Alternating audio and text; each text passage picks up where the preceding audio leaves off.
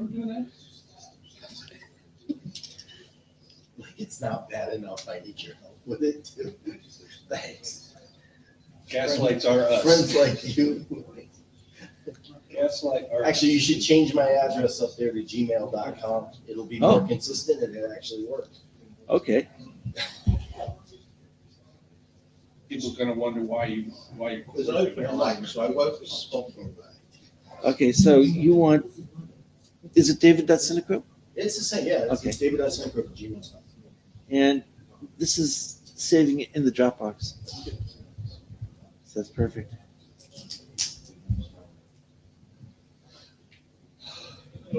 Start, shouldn't be ready. Yeah. Um, Well, hang on, we've lost the fellow again. You gotta go yeah, we have to go through the beginning slides anyway. Hello, everybody. We are live. Okay. I'm Andy Malis. This is Stewart Bryant, and we are in PALS in Bangkok. And thank you all for coming. This is the Note Well, which I'm sure you all know well by now. So we have one item on the agenda, and that's going to be draft UC PALS PW CW s- stitching from Italo Busi, who was in the room a minute ago, and we expect him back pretty shortly. Um, since we last met, we, we actually did not meet at IETF 102. So since IETF 101, which is the last time we met, we've had one new RFC, um, 8339, which was PALS P to MP PW LSP ping. Um, and we've now had 18 RFCs uh, um, published for PALS since it was reformulated in November 2015. So we have been a pretty productive working group. Um, we have one item in the RC editors queue, uh, draft IETF PALS Ethernet CW07. Um, the current status is that it's an auth 48, and uh, we just got the last sign off from the authors this morning. Uh, so we should expect to see it pop out from the RC editor into an RC pretty soon. You should already have the RFC number. Yes, yes, we do already have the RC number, but we're we are um, um, sworn to secrecy until it's published. Just quick, This is, it makes the control word uh, it makes the control word Recommended. highly recommended, but not mandatory. Yes. Okay, and we have right now we have no other working group drafts. However, we do expect that to change soon. And that's it. Um, any questions before we get started with the Italo's draft? Um, seeing none, let me switch over to Italo's draft. Dave will be chairing discussion on this. Do you want to start with that? Yeah. I'll. So given that all the chairs are authors, I'm gonna chair this. Just Make sure that there's a flavor of transparency here. Fairness. There's a big controversy going on. There's a big what? Controversy, yeah, I, I started looking at the draft, it's like, wait a minute. There's a lack of transparency in Yeah. that. uh, Oh. Yeah, What I did? Oh, it's much better in this one. yes. Don't give direction. Okay, go ahead. Tell Okay, got it. Okay. Okay. Yes, it's Yeah, working. okay. Okay, thank you. Okay, this is the uh, presentation. is discussing about stitching pseudo wire with different control word capabilities. So what is the problem statement? The problem statement that we have uh, is uh, that we want to be able uh, to be able to send packets, uh, pseudo wire packets, use the control word, also in a situation where uh, at least one of the TPE in the network is not capable to insert the control word. And this is uh, in, in an existing deployed network where we have this box is already in the network and it's sending traffic to another TPE. And even if TP1 is not able to send a control word, uh, we want to be able to make sure that the packet that goes through the network uh, gets the control word. This is motivated by the draft that has been recently accepted, uh, approved, which is recommended to use a control word, but uh, it's not possible to insert a control word if TP1 cannot do that.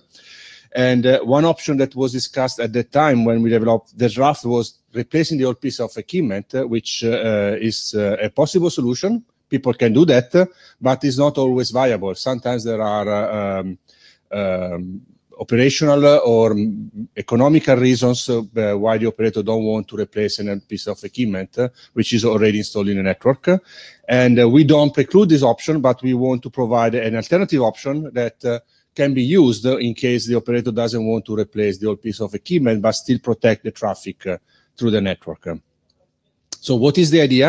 The proposal is to have a, a new type of node, which is a, a, a sort of switching PE, which is uh, capable to switch uh, an Ethernet pseudo wire segment uh, set up without the control word and an Ethernet wire segment uh, which is set up uh, with a control word. And uh, if we may, if we may, if we deploy this SPE very close to TPE, we can uh, easily control the ECMP behavior between TPE1 and SP1. If, for example, is a, is a link, is a collocated link, or is small size network, so we can make sure that there is no ECMP here. So this traffic is not affected uh, by the, the lack of control word. And then before sending the traffic through the network, the control word is inserted uh, by uh, uh, the SPE. So, uh, so that's that's the idea is to set up a multi-segment pseudo wire in this way, and uh, uh, this um, solution has limit minimum or no service disruption because you can uh, install this new box or upgrade an existing box with this new capability, set up a second an old a new multi-segment pseudo wire through this SPE, and then you can take the traffic. You you can use, for example, pseudo wire redundancy to move the traffic from the old pseudo wire, which was going through the network without a control word, to the new pseudo wire and then delete the old pseudo wire. So this could be done with the minimum uh, interruption of the service. And uh, the assumptions we made in the draft is that uh, the capabilities of TP1 are the same, uh, no matter whether it is terminating a single segment pseudo wire or a multi segment pseudo wire, which are consistent with the RFC 6073 assumptions about what the TP can do. So this draft gets more in details about uh, how it works from a data plane perspective. So the TP1 generates packets without the control word. So we have the Ethernet frames with the LSP label and pseudo wire label. And then when SP forwards the traffic based on the pseudo wire label, in addition to swap the, the pseudo wire label and decrement the TTL, is also inserting the, the control word in between the pseudo wire, the bottom of the stack, and the Ethernet frame. So there is a change in the way the SP forwards the packet, but the way uh, TP1 and TP2 sends and receive Epsilon packet are exactly the same as of today. So there is no impact. The, all the impact on the data plane are on SP1. There is no impact on existing devices in TP1 or in the P nodes. No upgrades is needed on the data plane on the other nodes. And then when we do this change of the forwarding plane uh, of the data packets, we have an impact also on the way the SP1 can forward VCCV packets. And uh, uh, we have made some assumption in the draft to make uh, things more easier because otherwise we get too, too, many combinations to deal with. So we assume that uh, on the on the segment where we have the control word, we always use a CC type number one, which is the default and mandatory mode in the VCCV RFC. So we can assume that uh, if TP2 supports VCCV, it should support TP, TPCC type 1. So what we need to do, we, we need to translate between different CC types that can be supported by TP1 into CC type number 1. And in a draft, we describe a translation for CC type 4 and translation for CC type 3. Do you have a question, Matthew? Yeah, I just got a question about actually the previous slide. Yeah. Um, are you doing a label swap and then inserting a control word Yeah. in an already labeled packet? Yeah. Yeah. That's not considered our architecture to be able to do stuff like that. And I don't know if there's any chips that can do that. That looks more like uh, the old pop and push of TMPLS. You've got to rebuild the stack, haven't you? Yeah, you got to. Re- so it's a pop and a push. Really, yeah. it's two pseudowires being being stitched together, not yeah. one pseudowire end to end. Yes. Yes. Yeah. Yeah. Okay. Uh, so the question is, do we need to formally update the architecture? Suppose we should at least say we're updating it. Well, for this one Yeah. very kind of corner case, Yeah, I- indeed. indeed. um, why can't you just stitch? I mean, we've already got native, native service stitching in, in the architecture, and that's pretty much what this is because you've got two. You're basically breaking it down to the Ethernet frame somewhere. You're pushing, you're pop, popping the label coming in. Yes. You're coming up with an Ethernet frame, and then you're pushing a, a, a label with this. With a, you're pushing a control word and a label, Right. Which is exactly that. And, and there's lots of boxes can do that kind of thing today. We Yeah. just do an internal sort of cross connect on the native ser- service, and you're done. Yeah, so it is, a- you're right, it's a native, native service. Yeah, which is already in the architecture. So I don't think we we right. need to do that. Change the draft. Uh, if you just, yeah, I think changing the draft to point to that example Okay. in the architecture, so this is all you're actually doing. Yeah. So, so basically, this is not a switching, it's not a label swap. And, you know, technically it's not. It's a, it's You're a right. forwarding container where there are two pseudo wires, one with the control word, one without the control word. And you Yeah. just Moving the traffic from, Yeah, uh, from one to another. although you might do end to end, well, you might do end to end OAM. Yeah. Well, yeah, well, that's kind of my, my Yes, question is already the point of this. only Yes. To You get into, cannot do end-to-end.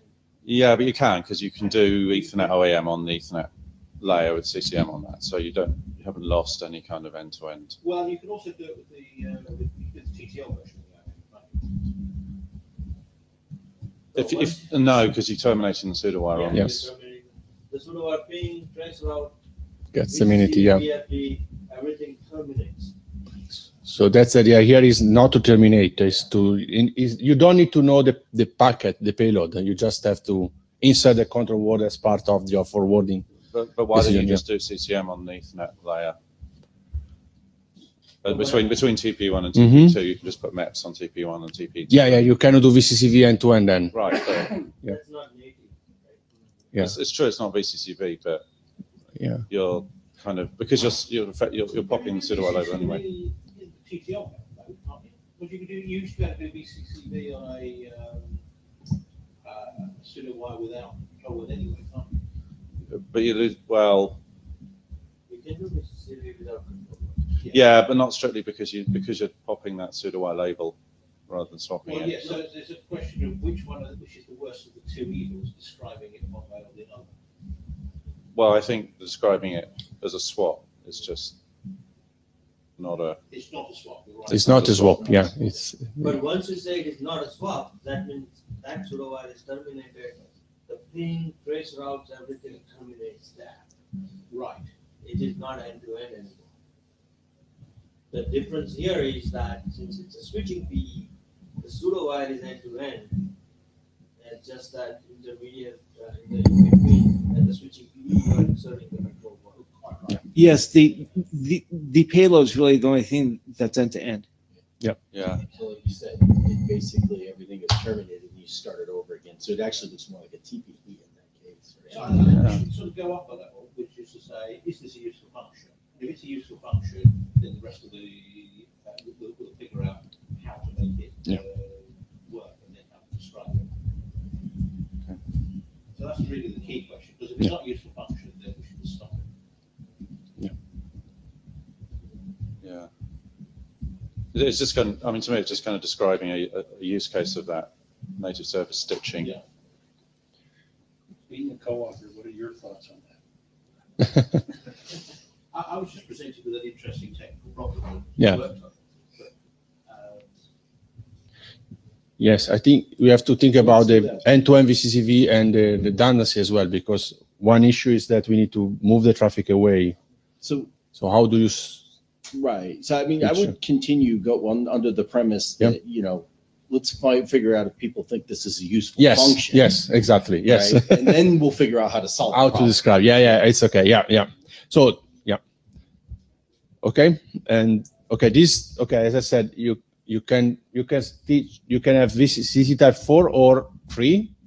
And here you assume only one. In the draft, we describe both three and four, but in the slides, I presented only the three because it's the most complex one. So what you get here is also another uh, strange, um, more complex uh, operations. So what you get, you, you swap the label, you decrement the TTL, and then you have to insert the ACH between the pseudo wire label and the uh, uh, IP header. And the channel type will be set based on the IP header uh, version field. And you do the same in the opposite direction. And the assumption here is that uh, the SPE should know the TTL distance uh, to the to the TPEs because the TTL is the discriminating factor that tells you tells the T- SPE whether the packets uh, being forwarded is an OAM packet or is a, a data plane packet. So the different operations should be based on the TP value of the pseudo wire label stack. Okay, then is uh, in this slide we analyze that, uh, uh, uh, and again, no, no impact on TP1 and TP2. So the VVCCV packets generated and processed by TP1 and TP2 are exactly the same as uh, today. So only SP1 needs to be updated.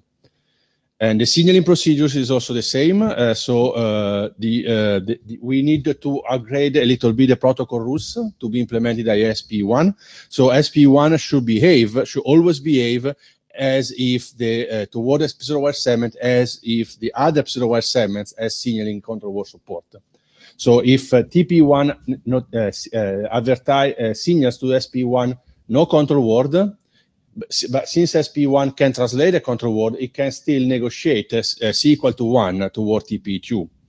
But of course, uh, toward TP1, it will negotiate C equal to 0 because TP1 does not support the control word. And uh, it can be done, eh, and then it does with label withdrawal or not, depending on the sequence of actions. uh, because depends. Sometimes uh, it can start with C equal to 1, and then it receives the C equal to 0 and then withdrawn, or it can start from C equal to 0. Depends on between this message, which this message, which one comes first. But the behavior is exactly the same as in the current RFCs. The only difference is that uh, no matter what the C the, the C bit you receive from from the other pseudowire segment, you always try to negotiate the C equal to one because you can insert the control word. And the same applies uh, to the VCCV. So what the, the rules uh, are, are a little bit different. So the behavior from the protocol perspective, uh, TP1 and TP2 cannot say the difference, uh, but the rules in the, in, inside the box are slightly different. So in this case, what happens is that SP1 advertises to TP2 CC type 1 if and only if it is receiving from TP1 a CC type that it can translate uh, into TP1 you see, into CC type 1. And in the reverse direction, it is looking at CC type 1 because we are assuming here to use only CC type 1.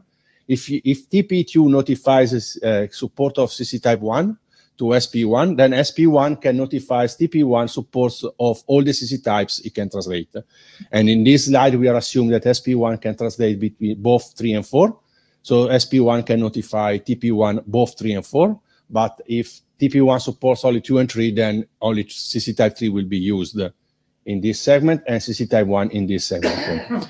so these are the rules.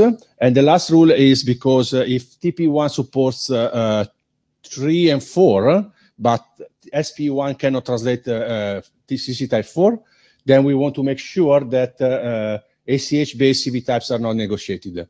So SP1 will not propagate support of, uh, will not notify support of ACH type, which is IP-less uh, BFD, for example, unless uh, it's able to translate between CC type 4 and CC type 1, because without control word, only CC type 4 supports uh, the IP-less. Okay, the solution in rough is described uh, and uh, um, is describing one SP, but uh, the, the the operation of the SP are quite generic, and you can have a different deployment scenario. One deployment scenario can be when both TPs are not capable to support the control word. Then what you can do, you can insert two type of SPE like this one, that the SP1 will generate will insert the, the, the control word to the packets generated by TP1, and the SP2 will do the same for TP2 and then you make sure that uh, the, uh, the, net, the traffic through the network goes through between SP1 and SP2 as the control word. Or you can have a, a more complex scenario where you, you can have SP, regular SP in between uh, the TP and the SP that translate the control word. For example, if you have multiple network where you are sure that there is no ECMP, and if you don't support the T, the, the, the control word insertion, you can also put uh, your insertion of the control word a little bit further up in the network it's just deployment uh, decisions. It's the, the, the behavior of the node is exactly the same as described in the draft. So it's just to show that we are not constraining the way the solution can be deployed.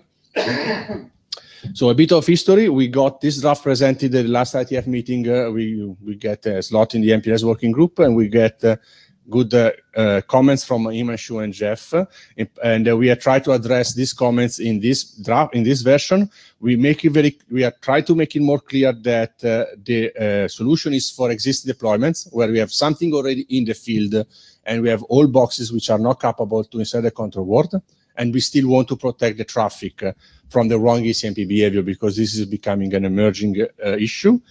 The, another important point is that we are not going to change other P or P nodes. So the changes that we are proposing are limited in terms of uh, the, uh, how many nodes you have to upgrade. And uh, we got a question about the sequence number. Um, looking at the draft solution, in the old version we didn't discuss.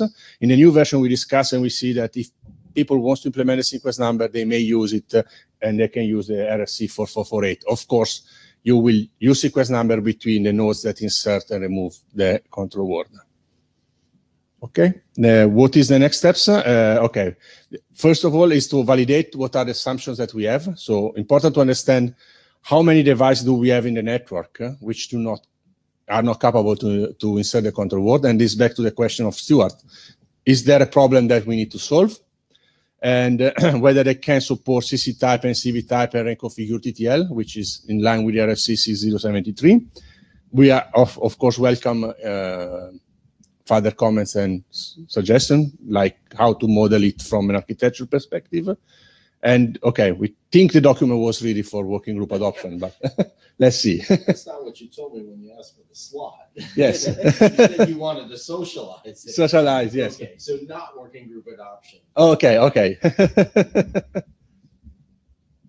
Well, working group adoption is a good starting point, right? That's all it says. But when he asked for, he asked for the objective for the slot was to socialize this. Okay. Not, not to go. for okay.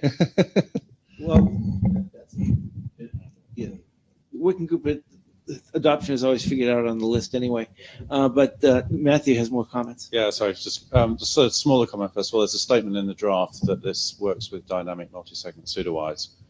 I would, um, only if that SPE is actually a terminating P for the multi-segment pseudowire would this work, because the whole point of a multi-segment pseudowire is you don't have to configure anything on the SPEs. They're auto-discovered through BGP or auto-advertised. You'll need to, to effectively um, configure an address on the SPEs like a prefix for that SPA. You shouldn't have, but here you have to configure the fact that for a given pseudowire you have to do this this Yeah. extra function. So have. Yeah, so you'd have to have another BGP where they've advertised that property in BGP saying you're, it's capable of doing it and that your far end is.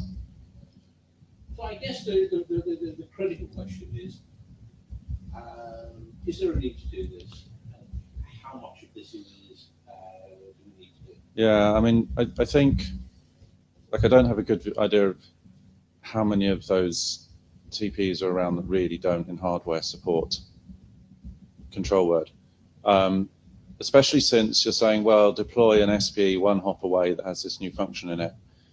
Um, when actually, pretty much all nodes out there also support configurable hashing. You could just hash on the label stack rather than doing going into the IP, you know, all the way into the payload. And again, you won't get E ECMP on that last hop if you if you do that because it'll just hash on the pseudowire label.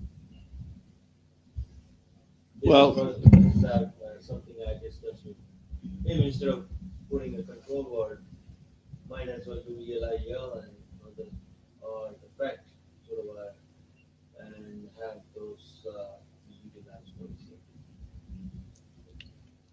Well, if if I may, um, we know from the experience that's being um, encountered in the field that there are at least some networks that that are running without the control word, right? Because uh, and and there's bad hashing going on for ECMP, which is why people are seeing Ethernet frames being delivered out of order, which is why we did the Ethernet control word draft in the first place. So, so I, I think it is evident that there is a problem out there.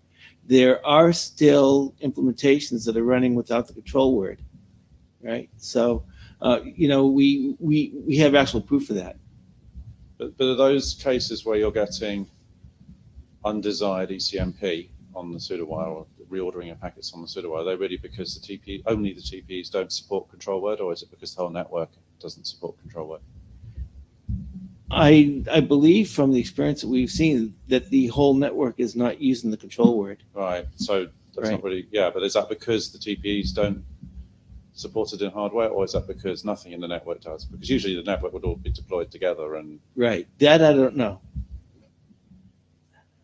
Actually, uh, there's a higher level question. You keep saying they don't use the control word. So it's, there's a third option, which is that they have the capability, they just don't turn it on. Yeah, well, that's what the previous draft addressed. that. Yes. Right. That, yeah, that was it. Yeah.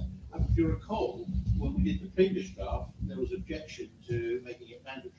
But because some equipment couldn't do it. Yes. The question is, does this address that set of equipment, or actually is that equipment so deeply embedded in the network, nothing can help it?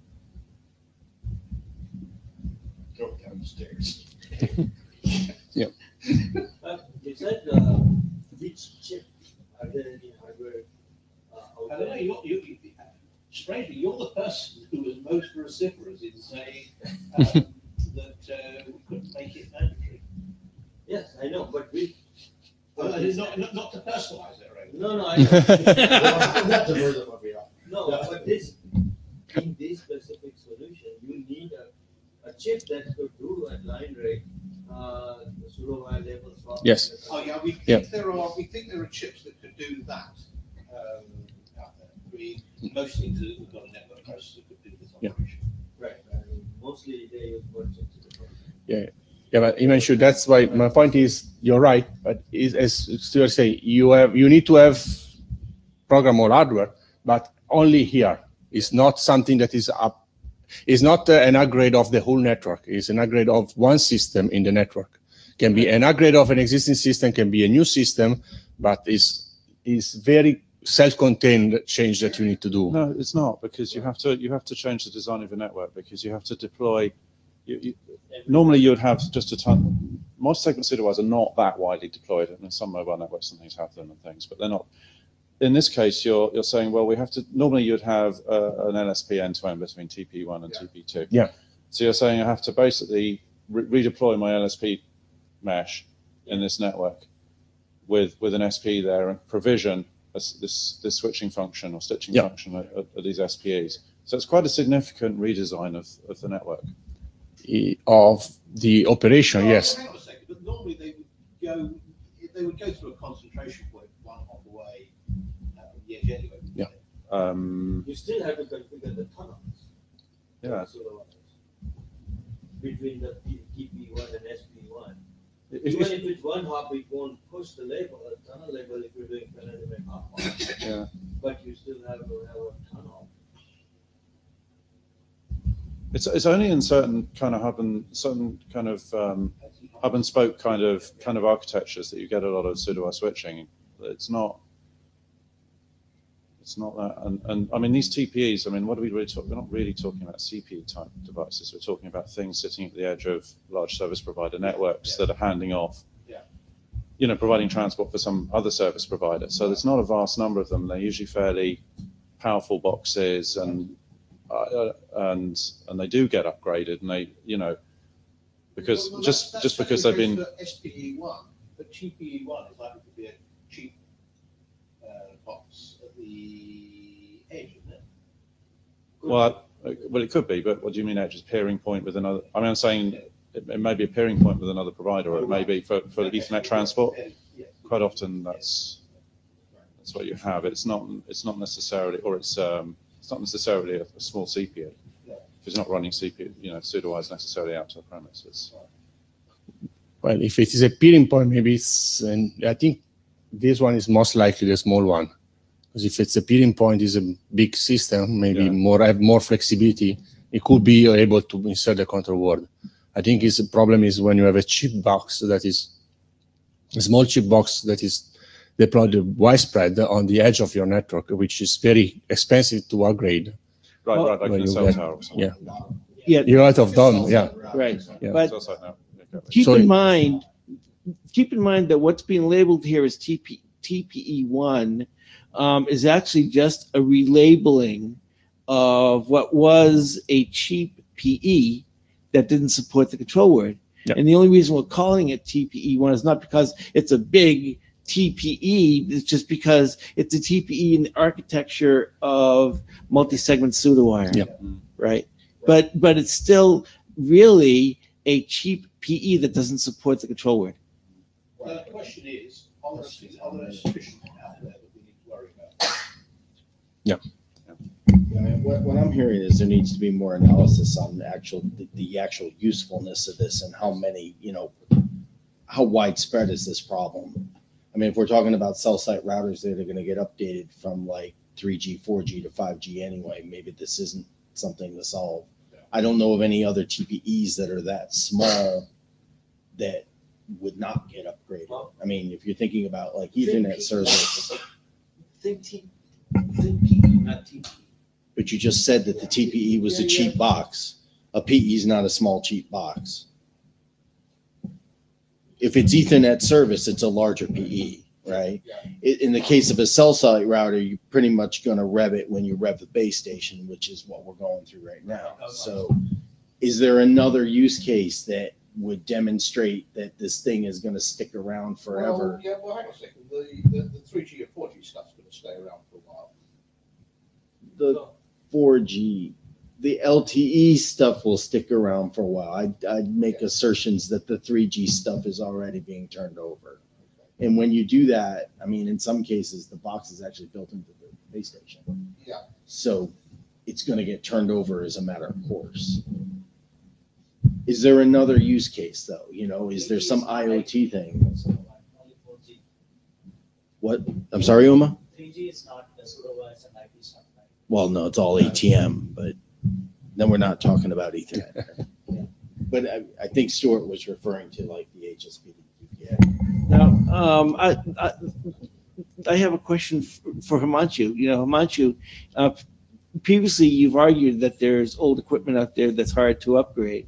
And w- w- what's the particular use case that you have in mind when you make that argument?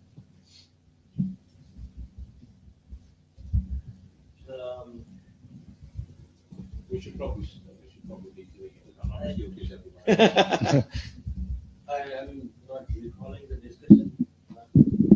Well, well, um, for example, when when we had the discussion on the control word draft, um, you made the point that uh, you know that we can't just mandate that everyone upgrade to use the control word Mm. because there's equipment out there that can't be upgraded, right? Yes. And so I, I wondering just what's the use case that you had in mind in terms of the that equipment that can't be upgraded to use the control word?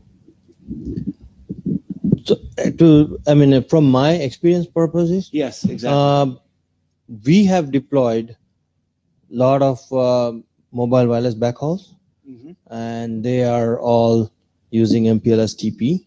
So we use uh, CC Type 4. So we don't have this issue at all as far as the control word and all those things are concerned.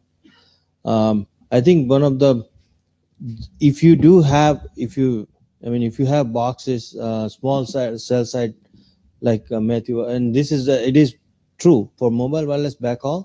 At the cell site, you have uh, cheap uh, access boxes, which uh, which doesn't have a lot of CPU and the memory and all that stuff.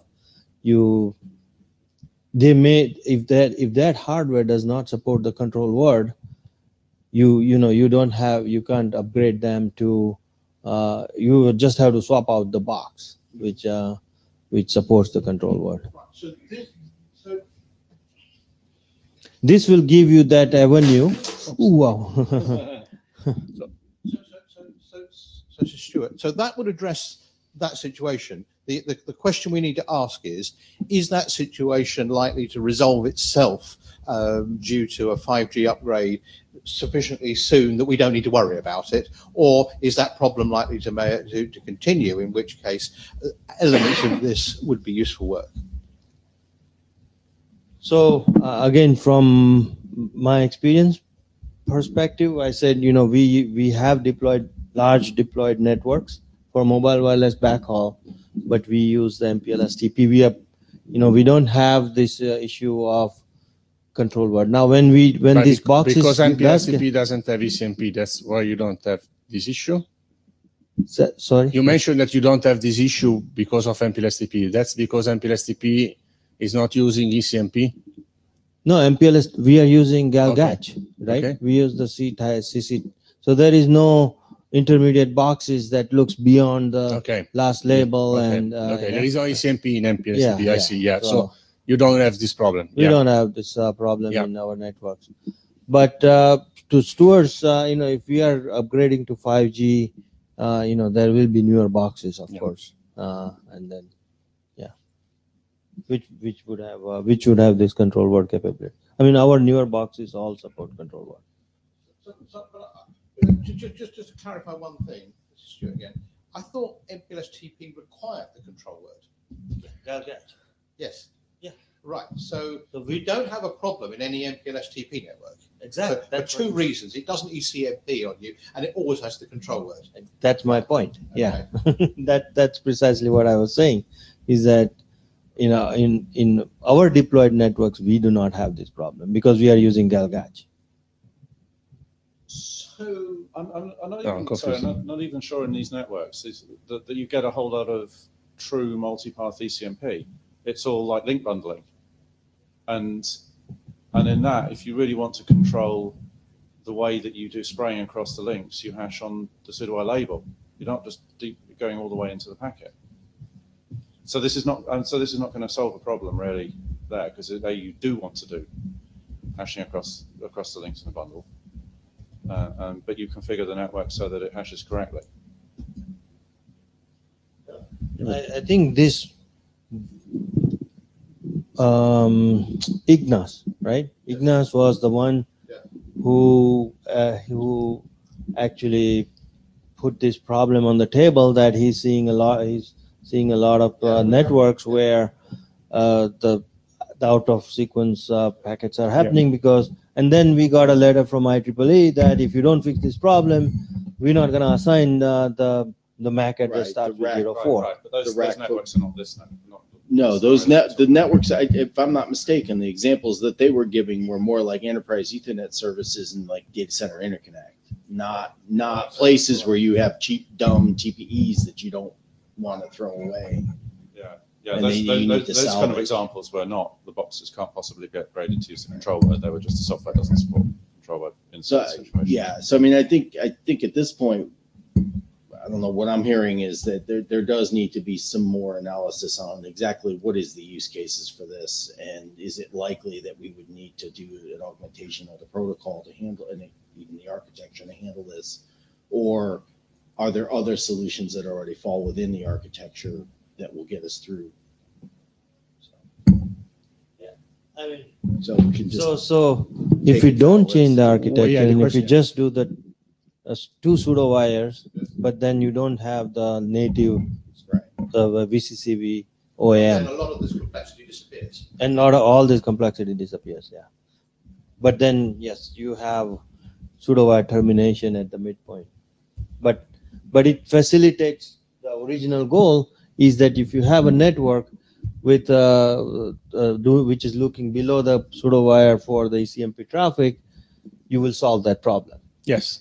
So, so the question is, uh, my view is how many of this TP do we really have in the network, which cannot be upgraded? Because I think Well, that In what cases too, yeah. I mean. Yeah.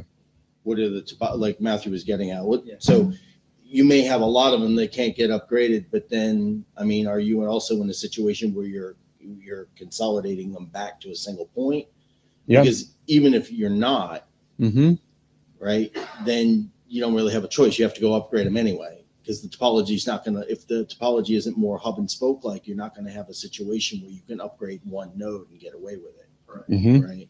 So you kind of need to look at both things, like where, because I mean, it's, it's not just the TPE can't be upgraded. Usually it's a case of I don't want to upgrade that Yeah. because there's so many of them. But then again, is the topology such that I have a central point to, ba- to bring them all where I can Converge. deploy this new network, I see. Okay.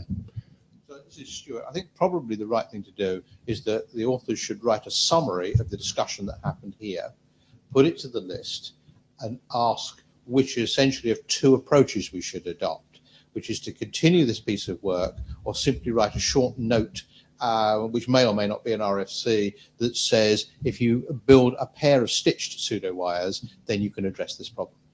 But you can't solve the OAM, uh, end-to-end OAM. Yeah. And Yeah. give, and get the working group and then decide what it wants to do. Uh, Stewart, just a question. Uh, with, without VCCV, also you have to think about how do you move the traffic away. Maybe it's again because you have the traffic is already going through this old pseudo wire, and if you do a multi-sem pseudo wire here, you can you can do pseudo wire redundancy. With, with stitching, you can't, you don't get those properties, but we Yeah. should describe the properties of this, and Yeah. the properties of the alternate on a list, or maybe a draft if it's more than a, uh, more than a page, and then ask the working group which way it wants to go. Mm-hmm. Okay. Yeah. I Uh, also the pseudo wire status signaling, if we were to do the Yeah. two pseudo wires, uh, I think the pseudo wire status signaling you can move forward because I think there is some forward.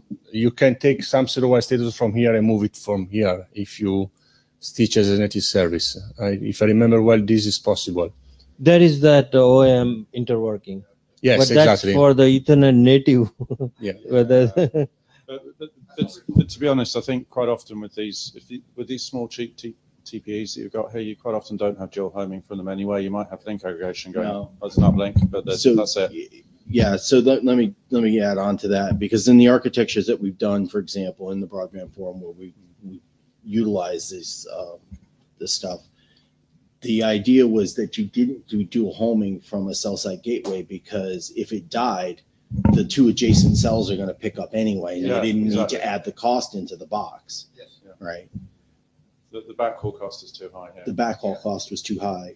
In in some cases too, where you'd have dual homing, it, it- you know, say it was a, a macro site aggregator.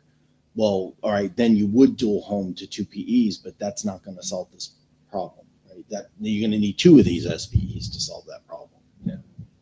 It's cheaper. In other words, it's cheaper to update the cell site gateway to con, to support the control word, right? Than it is to put two SPEs in that support the control word. Um, we're gonna have to end it here because Italo was actually um, Yeah. up uh, on the TEAS agenda soon. so so Italo has has to rush over to TEAS. But one thing I would like to add is that uh, you know there was a question as to whether we should hold the session or just put this draft on the on the MPLS agenda. But I think it it really got the attention it deserves from the right people in the room by by holding the meeting. So I'm, uh, so I'm really glad that we did, and uh, we'll continue this online. And and depending on the way the discussion goes on the list, we'll see whether or not we need a meeting at the next IETF. Thank you. Okay, thank you all.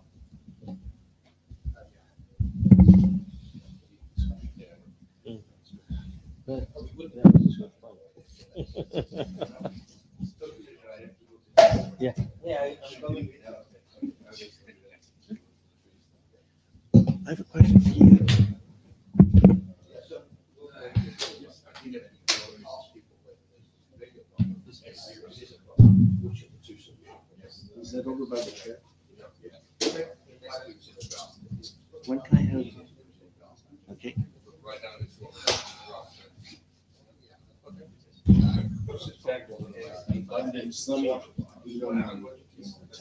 Yeah. Yep.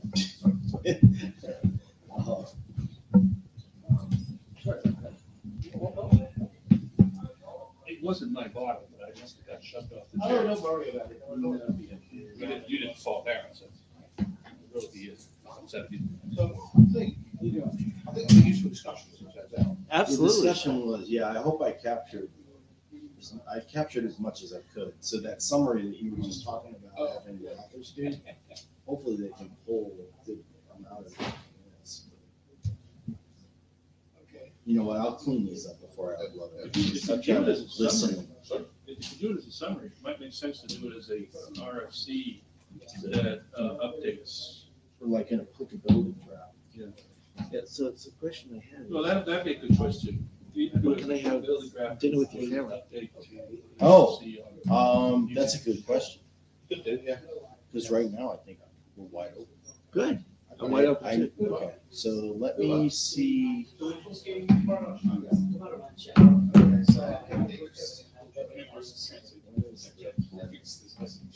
Planning, I think, is Wednesday.